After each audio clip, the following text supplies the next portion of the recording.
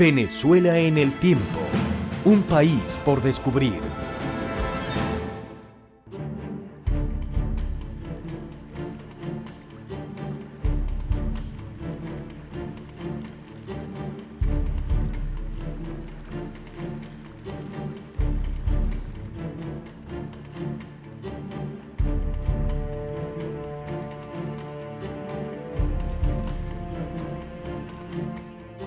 Viajaremos a la laguna Las Marites, ubicada en la isla de Margarita, para explorar sus manglares y buscar en esta laguna información acerca de un microfósil nuevo para la ciencia. Navegaremos la cercana isla de Coche, donde entraremos a una sorprendente cueva de sal, y luego haremos un recorrido por la isla para saber de sus monumentos naturales, sus playas y su gente.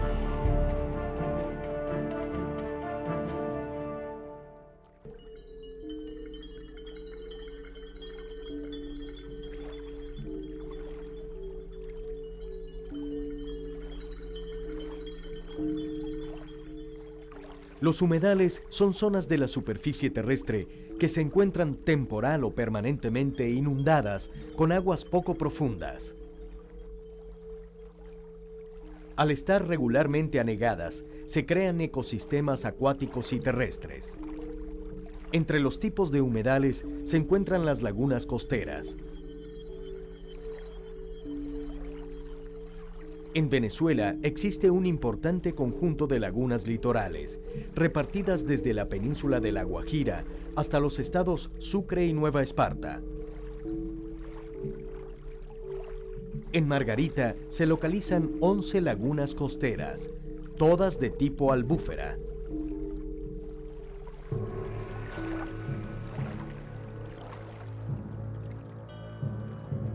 Las albúferas son lagunas que están separadas del mar por un banco de arena, pero que se comunican con él a través de una boca o canal por donde circula el agua según las mareas. El cambio periódico del nivel del mar transformado en mareas ejerce una influencia en la circulación del agua y trae consigo una gran cantidad de nutrientes orgánicos que se van depositando en las lagunas.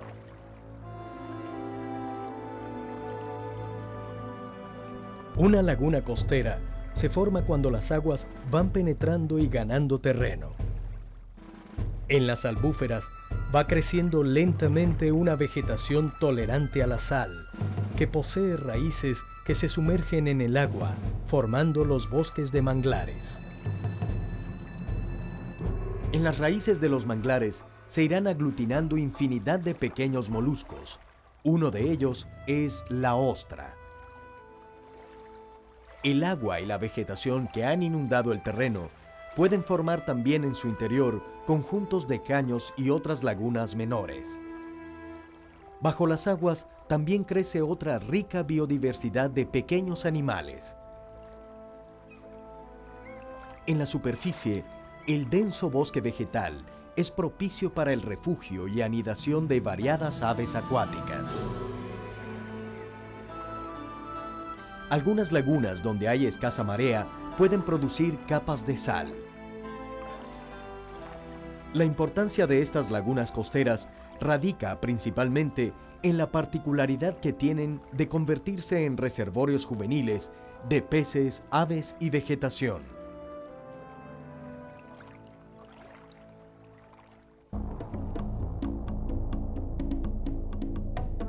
Viajaremos a la isla de Margarita, y seguiremos camino al sur para encontrar Playa El Yaque.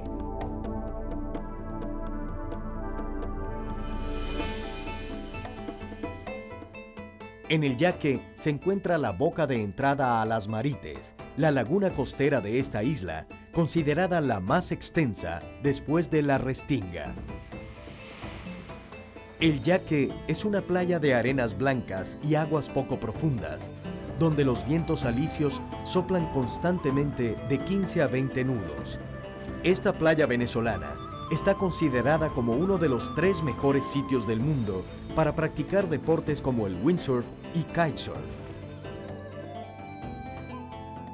La laguna Las Marites es la segunda de más importancia en la isla de Margarita. Se encuentra cerca de Playa del Yaque.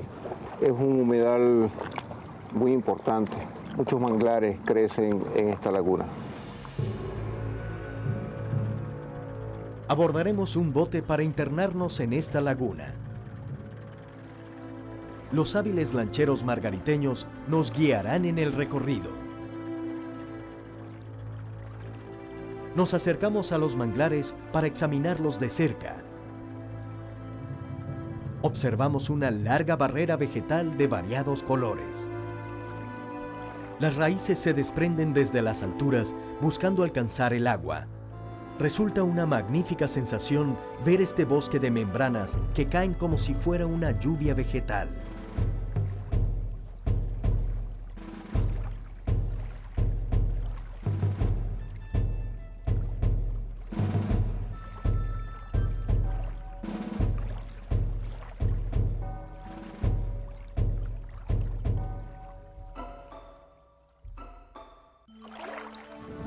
Hemos recorrido un poco la laguna La Marita, acá en Playa Yaque. Vamos a explorar un poco el interior de esta laguna. La laguna es poco profunda y en sus fondos arenosos hay praderas de pasto marino que se pueden observar a través de las aguas cristalinas. Las Marites es la única laguna de la isla que posee formaciones coralinas pétreas vivas que están en peligro de extinción, tal como el coral cerebro.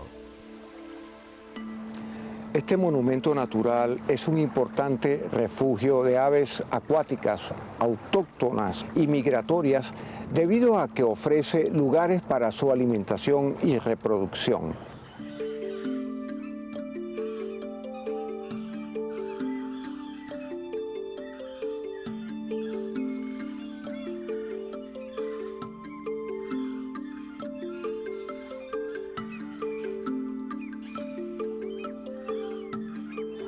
Aquí vive la única población del caimán de la costa registrada en la isla de Margarita, una especie de cocodrilo americano que se encuentra amenazado. Hasta ahora hemos hablado de la gran diversidad de especies vegetales y animales que viven en la laguna de las Marites, pero en este lugar también se han encontrado fósiles y microfósiles. En materia paleontológica prehistórica, no se tienen noticias de hallazgos en la isla. Sin embargo, en esta laguna, micropaleontólogos encontraron un microfósil nuevo para la ciencia. Al fondo vemos los manglares y vamos a hurgar en sus raíces a ver si podemos encontrar estos microfósiles.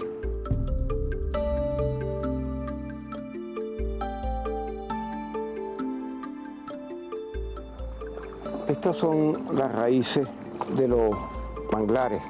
Aquí se adhieren muchos organismos marinos, moluscos. Aquí crece la ostra. En estas raíces, micropaleontólogos encontraron un microfósil nuevo para la ciencia, la Matancia margaritensis. Los foraminíferos son organismos unicelulares que aparecieron hace 500 millones de años y cuyos descendientes han llegado hasta nosotros poblando los mares y océanos actuales. Luego de un vistazo a estos organismos fosilizados de gran importancia para la ciencia, dejamos atrás a la fértil laguna Las Marites. A lo lejos, en el mar, divisamos la silueta de la isla de Coche, nuestro próximo destino.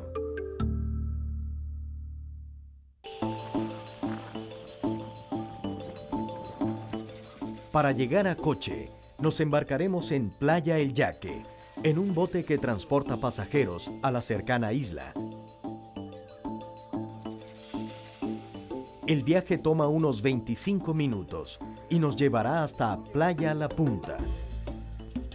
La isla de Coche está situada en el Mar Caribe, al sur de la isla de Margarita, frente a la costa oriental de Venezuela. Forma, junto con las islas de Margarita y Cubagua, el estado Nueva Esparta.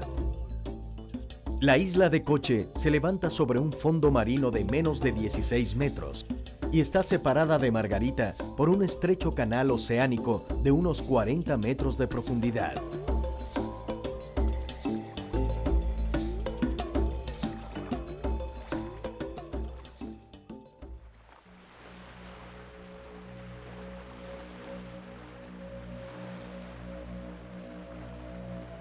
La topografía de la isla de Coche es poco accidentada y su origen se sitúa hace más de 65 millones de años. Pequeñas colinas de menos de 70 metros de altura, separadas por angostos valles, recorren la isla. Su zona costera presenta abundantes planicies y arenales. La temperatura media es de 27 grados centígrados, atemperada por los vientos alisios que soplan constantemente del noreste. La flora insular es escasa debido a las pocas lluvias y a la intensa insolación. En los valles arenosos, entre las colinas, crece una vegetación rala que deja al desnudo la mayor parte del suelo, y en los pequeños cerros de la isla crecen matorrales xerófilos y espinosos. La isla de Coche posee playas tranquilas y excepcionalmente hermosas, por lo cual anualmente la visitan cientos de turistas.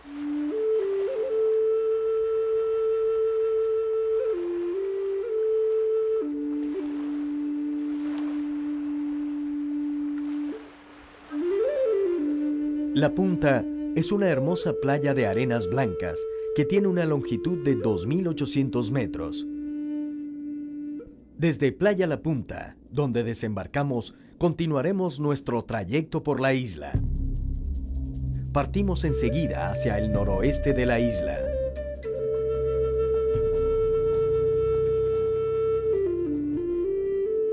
A unos 15 minutos encontramos las salinas de Coche, un depósito de sal que se formó alrededor de una antigua albúfera. La sal marina se produce en extensiones de terreno cerca del litoral, en donde la acción del sol y de los vientos favorece la evaporación del agua de mar hasta la saturación y posterior cristalización de la sal.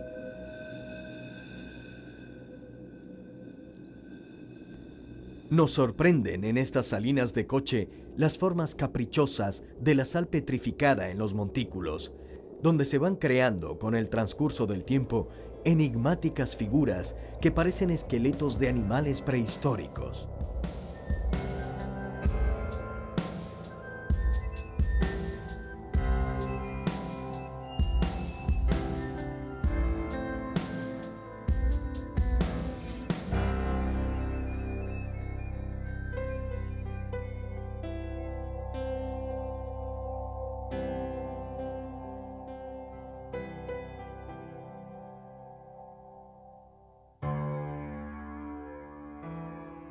La isla de Coche, como en todas las islas del Caribe, había muchas que tenían sal. La isla de Coche era una de ellas. El tiempo de la colonia era como el oro. Y acá en la isla de Coche se explotaba también las salinas, eran los esclavos y los indígenas los que hacían este trabajo duro. Hacían montículos como estos que estamos viendo acá.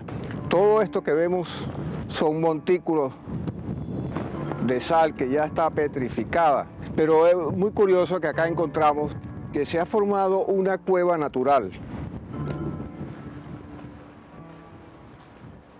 Esto que está acá es la sal. Pueden apreciar cómo entre la arena y la sal, aquí pueden observar, camarógrafo haga una toma acá cerca, esto es sal. Bueno, vamos a internarnos en esta cueva para conocerla un poquito mejor.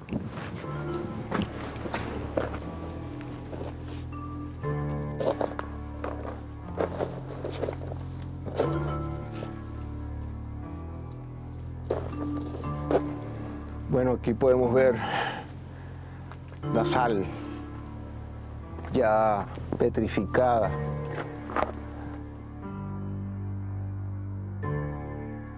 Podemos ver las capas, las diferentes capas de la sal que se han formado en esta cueva interna. Ya sigue.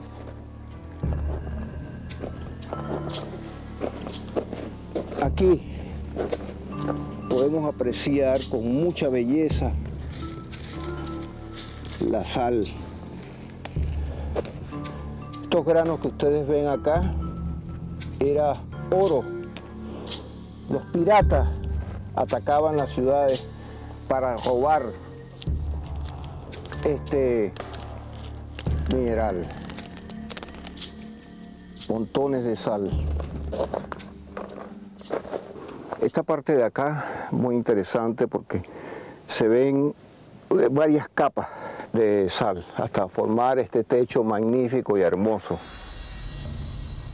La sal y la arena que se acumulan con el tiempo en las salinas, sometidas a la acción del viento y del sol, modelan formas arquitectónicas, como este techo de sal, con claraboyas naturales. El aire dentro de esta cueva de sal marina es más puro que el del exterior, porque es rico en microelementos beneficiosos para la salud. El alto contenido de cloruro de sodio que posee actúa contra los microbios y bacterias. Los iones negativos presentes en estas cuevas por la propiedad natural que tiene la sal de producirlos ayudan a liberarse de las ondas electromagnéticas creadas por diversas fuentes, como teléfonos móviles y computadoras portátiles. Aquí podemos ver cómo el agua se filtra en estas goticas que va a caer. Esta cueva debería ser un patrimonio de la nación, muy hermoso. Bueno, vamos a seguir explorando la isla de Coche.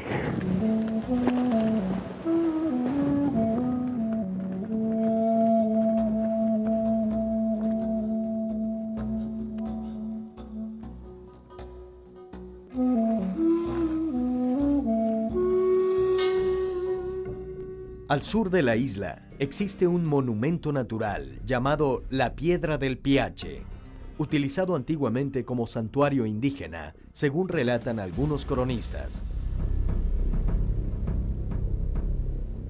En 1576, según ciertas referencias, un fraile franciscano y otro dominico se trasladaron a la isla de Coche para colocar una cruz en sitio fijo y prominente. Es posible que esta cruz sea la que se halla en la cueva del Piache, y a la cual ofrendan los habitantes durante todo el mes de mayo con galerones y fulías. En esta isla los lugareños han construido este monumento. Observen allá arriba, sobresale un enorme peñasco que parece flotar, una piedra fabulosa que brota de la montaña se llama la piedra del Piache. Cuenta la leyenda que los indígenas que habitaban esta isla, los guayqueríes, los chamanes hacían sus rituales en esa piedra. Hay otra leyenda que cuenta que si esta piedra se cayera, se hunde la isla.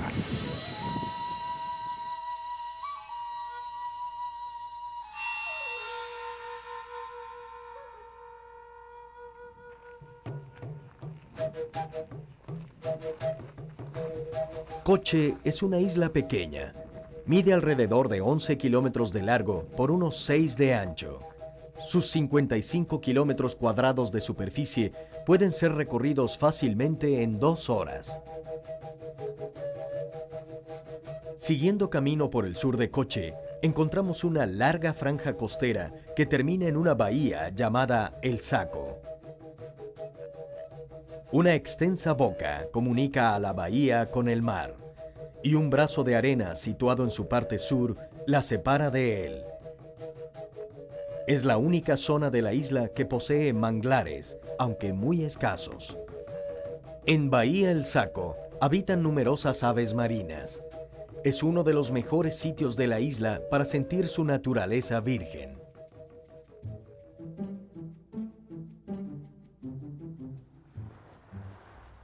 El relieve de Coche está representado por tierras bajas costeras. El sector más elevado de esta isla es el sureste y sus alturas máximas no sobrepasan los 70 metros. Parte de la costa sur es acantilada, con hermosas formaciones de rocas color terracota. Aquí se encuentra Playa El Amor. Es una playa de suave oleaje y cristalinas aguas de un color curiosamente rojizo, poco visto en el Caribe. Esta tonalidad se forma por los cercanos acantilados de tierra roja que bordean la playa. Y podemos observar algunos relieves. Vamos a acercarnos para verlas en detalle. La línea freática son las capas geológicas que se acumulan con miles de años y en muchas zonas podemos observarlas. Estas son las capas que podemos observar a simple vista. Acá cerca está la playa, esto desemboca en la playa del amor. En la playa del amor es muy curiosa porque aquí han nacido la mayoría de los cochenses.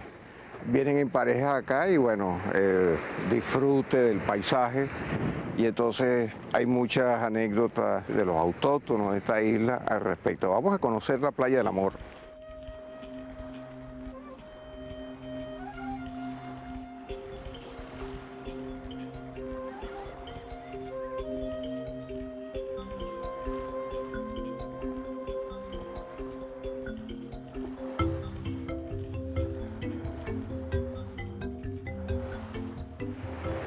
Acá en la playa del Amor se encuentra una formación geológica muy interesante. Llaman la piedra del elefante. Es aquel risco pequeño que está allá, con una forma muy interesante que pareciera que es un elefante y es muy conocida acá en la isla de Coche.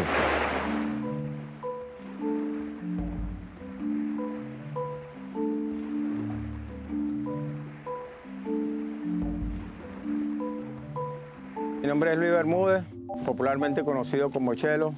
Trabajo de hace 15 años acá en el sector Playa del Amor, una de las playas más populares que tiene la isla de Coche. Eh, Playa del Amor, donde se dice gran dicho, jocosamente, que entran dos y salen tres. También ofrecemos nuestros famosos rompecorchón, los huervi a la vida, los levantamuertos, los liberen a. Son productos envasados para la vinagreta, para que el, el turista, visitante y nativos disfruten de nuestros cócteles. Se los preparamos también a la vinagreta. La verdad que los preparamos con camarones, calamares, vieira, nuestra artesanía. Fíjense que son productos preparados eh, con desechos marinos.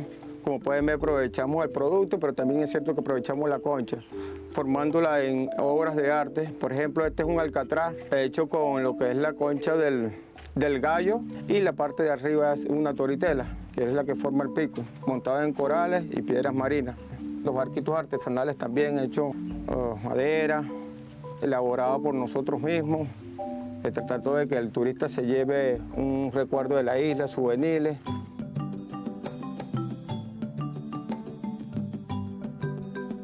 Los habitantes originarios de Coche fueron las tribus guayqueríes.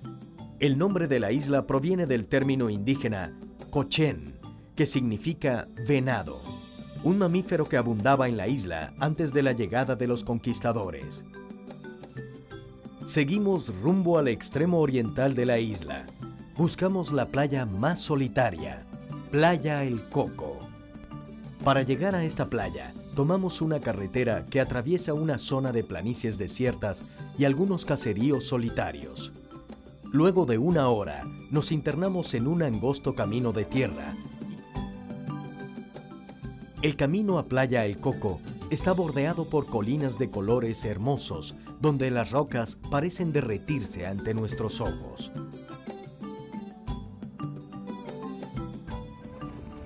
Y entonces Playa Los Cocos, esa que está allá. Vamos camino a Playa Los Cocos, un camino que no está asfaltado. Eh, larga más o menos una hora desde la punta, la playa. Bueno, ya estamos ya en Playa Los Cocos. Como podemos ver, hay unos acantilados grandes en la orilla de la playa, hasta la playa ya, playa de Coco. Es una playa virgen, bastante virgen. El Coco es una playa de aproximadamente 300 metros de longitud, rodeada por un cerro empinado que se alza sobre la costa como un gigante. En esta hermosa masa acantilada que va a terminar al mar, podemos observar las diferentes tonalidades de rocas metamórficas que forman sus paredes verticales. Es un lugar para disfrutar del vuelo de las aves, acompañados únicamente del sonido del mar y el viento. Estoy viendo acá un grillito, se los voy a mostrar. Un saltamonte muy hermoso. La capital de Coche es el pueblito de San Pedro, San Pedro de Coche. Eh, aparte de sus siete pueblecitos que también lo componen, bueno, eh, está San Pedro, que es la capital, el Bichal, segundo pueblecito, luego la población de Winima, le sigue la, población de Amparo, en ese extremo eh, termina por ahí con la población de Guamache y Zulica. Son siete pueblecitos que conforman la geografía del municipio de Villalba. La isla de Coche fue habitada desde principios del siglo XVI por los españoles, quienes se dedicaron a la explotación de sus ricos australes y salinas. Durante la independencia de Venezuela, en 1815, se incendió al oeste de la isla el navío español San Pedro de Alcántara, barco insignia de la flota de 18 buques de guerra que venían a sofocar una rebelión patriota. La nave terminó hundiéndose entre las islas de Coche y Cubagua. Todavía permanece en el fondo del mar. La isla de Coche concentra en su pequeña dimensión hermosos paisajes, naturaleza virgen, tradiciones, leyendas y hechos históricos interesantes. Su gente amable recibe al visitante con el orgullo de compartir su terruño un lugar maravilloso de vientos, sol y mar. En próximos capítulos continuaremos explorando a Venezuela, su naturaleza, su geografía y sus hombres. Venezuela en el tiempo, un país por descubrir.